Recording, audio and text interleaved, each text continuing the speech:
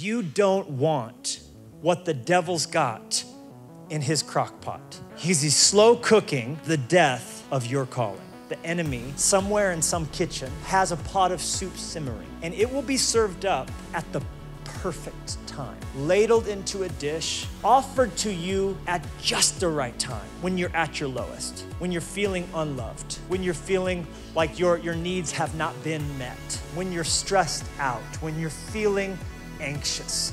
And in that moment, you will feel like all of your happiness is attached to what's in that dish. Any notion of some far off promise of how God wants to use you or what He said in some dusty old book written thousands of years ago is going to seem so distant and so opaque and so unreal and undesirable.